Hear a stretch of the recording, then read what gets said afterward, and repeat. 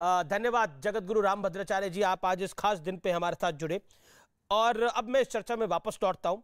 राम भद्राचार्य कोई सामान्य, राम जगत गुरु राम भद्राचार्य कोई सामान्य संत नहीं है। इनके नेत्र नहीं है, लेकिन संबित पात्रा ने सही कहा कि इनका ज्ञान इनका सबसे बड़ा नेत्र है। और कृतज्ञ आज हम, राम जगत गुरु राम भद्राचार्य आज हमारे इस कार्यक्रम में जुड़े।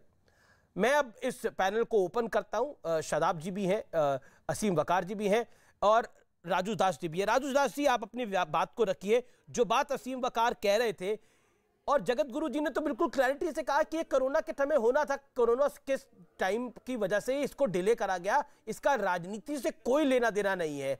लेकिन ऐसा क्यों लग रहा है कि इसका राजनीति से लेना देना है विपक्ष को? कांग्रेस को भी लग रहा है। सपा को भी लग रहा है। पहले तो इस डिबेट में बैठे सभी भाइयों को अयोध्या से प्रणाम है, जय सियाराम है। विषय बहुत महत्वपूर्ण है। जाकी रही भावना जैसी, प्रभु मूर्त देखी तिन सी आज अयोध्या में, हनुमानगढ़ी में आठ मुख्यमंत्री आए जेपी नड्डा जी भी उनका, उनके साथ आए और दर्शन पूजन किया। किसी ने किसी प्रकार से कोई डिबेट में कुछ तमाम पत्रकार घेरे, किसी ने कुछ कहा नहीं। लेकिन जिस प्रकार से लोगों ने मोदी जी के ऊपर आरोप लगाना, योगी जी के ऊपर आरोप लगाना, हिंदुत्व हिंदुत्व हिंदुत्व हिंदुत्व, हिंदू हिंदू हिंदू हिंदू, इस प्रकार से शोर शराबा बचाना ऐसा क्यों भाई?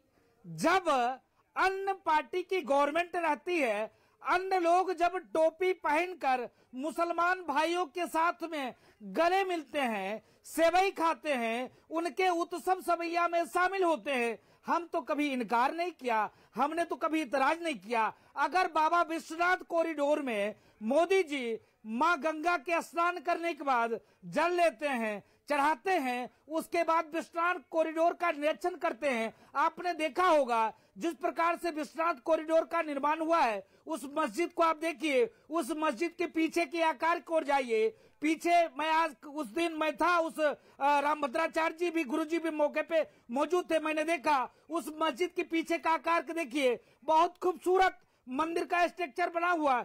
थोड़े से एक कोने में मंदिर टूटे हुए भी बने हुए मैंने तो कभी विरोध नहीं किया हमने कभी कुछ नहीं कहा। जिस प्रकार से अयोध्या में खुदाई हुई पर ये- सर्वे हुआ जी, जी, जी, सर्वेक्षण जी। हुआ उच्चतम न्यायालय का आदेश पर आया। अब ये हिंदू एकता क्यों आ गई? भगवान ये हिंदू एकता क्यों ले आए आप?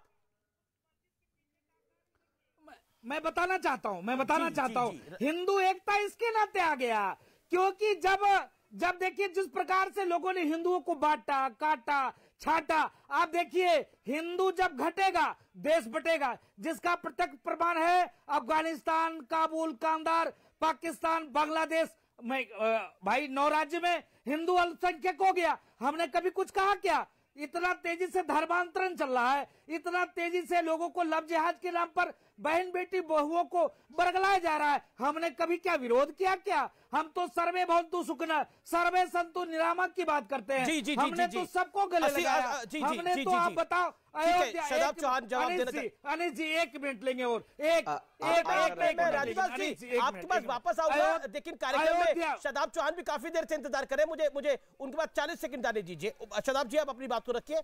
Then Raju Das ji and Sambit Patra. बोलिए आप शदाब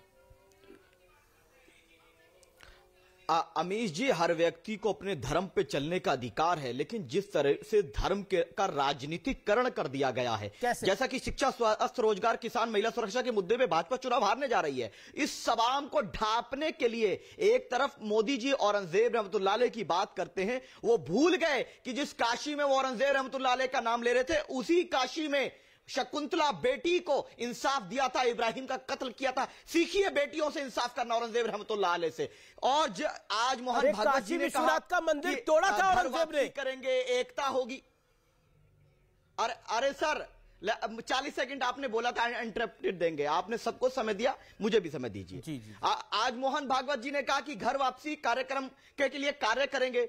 भागवत जी ये कार्यक्रम आपको फिर याद आया? आपसे पहले भी आगरा में क्या हुआ कि पाँच लाख रुपए मिलेंगे, घर वापसी कर लो। तो याद रख ले, संघ परिवार, मोहन भागवत जी हम अपने जिस्मों को खत्म कर देंगे नेस्तो नाबूद करा देंगे। आग में जलने तैयार है मरने तैयार है लेकिन अपने ईमान का सौदा नहीं करेंगे। याद रख लीजिए हम घर वापसी? कर चुके पात्रा, पात्रा, जवाब। मुझे इजाज़त देता अपने धर्म पर चलने पात्रा, आप जवाब दीजिए। एक नहीं एक हज़ार मोदी मेरा धर्म परिवर्तन नहीं कर सकते। और औरंगज़ेब रहमतुल्लाह अलैह से सीखिए आप अगर इन बेटियों को इंसाफ सीखना है। देखिए अमीश भाई अभी मैं बड़े ध्यान से सुन रहा था शादाब भाई को। उन्होंने बार बार औरंगज़ेब रहमतुल्ला कहा। और शादाब भाई वही व्यक्ति हैं जो हर बार कहते हैं निजामी मुस्तफ़ा का राज कायम होगा। अभी भी आप उनसे पूछेंगे तो वो कहेंगे इंशाल्लाह निजामी मुस्तफ़ा का राज हिंदुस्तान पे कायम। देखिए उन्होंने कहा इंशाल्लाह कह कि वो चाहते ही हैं कि निजामी मुस्तफ़ा का राज कायम इसके बाद भी कोई डाउट है क्या? अमीश भाई आज का डिबेट का विषय ऐसा है कि मुझे थोड़ा कैंडिडली स्पष्ट के बोलने दीजिए। पता है हिंदुओं में क्या दिक्कत है? और आज मैं थोड़ा हिंदुओं के विषय में भी समीकरण करूँगा। आप तीन लाख हमारे शादाब भाई के भाइयों को, साजिद भाई को ए आई एम आई एम के भाई को, सभी वकार भाई को, सभी को इकट्ठे करो। अलग अलग पॉलिटिकल पार्टी के हो सकते हैं। तीन लाख भाइयों को इकट्ठे करने के बाद केवल तीन मिनट उनको समझाओ। तो सभी अल्लाह अकबर करते हुए एक मत होके बाहर निकलेंगे। आप तीन हिंदुओं को तीन साल तक समझाओ। वो कोई जेएनयू जाएगा, कोई डीयू जाएगा, कोई बीजेपी जाएगा, मगर ये डिबेट ही होते रहेगी। तीन हिंदू इकट्ठे नहीं हो पाएँगे तीन साल तक। और यही कारण है, आज हमारे पैनल में हम छह लोग बैठे हुए हैं। देखिए, हमारे शादाब भाई भी तो मेरे भाई हैं, शाहिद भाई भी मैं साजिद भाई भी मेरे भाई हैं, वाकार भाई भी मेरे भाई हैं। कोई ये सऊदी अरब से तो नहीं आए थे? ये है तो अपने हिंदुस्तान के मिट्टी के। पहले भूर भुवस्व कहते थे, पूजा की पद्धति इन्होंने बदल दी, अब ये नमाज़ अदा करते हैं, अच्छी बात है। तो देखिए ये ये सारा कुछ कितने सालों के अंदर हुआ है? ये सौ, डेढ़ सौ साल के अंदर हम छह लोगों में से कुछ लोगों को आपने देखा, उन्होंने परिवर्तित कर लिया अपने आप। फिर भी अगर हिंदुओं को लगता है फिर भी हिंदुस्तान को लगता है कि वो खतरे में नहीं है तो कब जगेगा? अंकोर मठ के मंदिर से लेकर श्रीलंका तक हम सारे के सारे हिंदू थे। पूरे विश्व में हिंदुत्व का बोलबाला था। कम हो गया। आज जी, जी, जी, आ- आ- धर्म के नाम पे आर्टिकल विभाजन 25 बदल दीजिए। फिर खत्म कर दीजिए संविधान सर कोई संविधान को खत्म नहीं कर रहा है साहब। देखिए बाबा साहेब अंबेडकर ने संविधान में कहीं भी सेक्युलर शब्द का प्रयोग नहीं किया था। आप जानते हैं क्यों नहीं किया? 25 के खिलाफ बोल रहे हैं एक सेकंड सर मैं कंप्लीट कर लूँ शादाब भाई। आप तो पीस पार्टी के हैं पीस मतलब शांति होती है। थोड़ा शांति रख के सुन लीजिए। देखिए बाबा साहेब अंबेडकर ने सेक्युलरिज्म शब्द का प्रयोग प्रियम्बल में नहीं किया था कॉन्स्टिट्यूशन में इसलिए नहीं किया था क्योंकि उनका स्पष्ट मानना था हिंदू शब्द का मतलब ही सेक्युलर होता है। भारत का अर्थ ही सेक्युलर होता है। कभी भी हिंदू कम्युनल हो नहीं सकता है इसीलिए सेक्युलर शब्द का प्रयोग नहीं किया गया। मगर नाजायज फ़ायदा उठा करके राम मंदिर के ऊपर इस प्रकार की टिप्पणी करना। हिंदू और देखो कंप्लेन मेरा साधा भाई से नहीं है। जी जी। कंप्लेन तो मेरा उस राहुल गांधी से है ये हिंदुओं से ही है। ये जो तथा कथित हिंदू हैं हिंदू आगे से भी चाकू मारता है पीछे से भी चाकू मारता है इस राहुल गांधी में हिम्मत है? जी जी असी असीम बकार और साजिद रशीदी मैं जी जी जी संबित अ, असीम बकार अभी आपने राम भद्राचार्य जगत गुरु राम भद्राचार्य राम भद्राचार्य जी को भी सुना आपने राजू दास जी को भी सुना और समित पात्रा को भी सुना। अब आपका वक्त है अब अपनी बात को कंप्लीट करिए। रशीदी साहब मैं आ रहा हूँ आपके पास। देखिए मैंने सबको सुना अपने धर्म की बात सब कर सकते हैं। प्रॉब्लम वहाँ खड़ी होती है जब दूसरे धर्म के मानने वालों को बुरा कहा जाता है या गाली बकी जाती है। अब आप ये कहते हैं कि घर वापसी। अगर दूसरे धर्मों के लोग हिंदू हो जाएँ तो आप घर वापस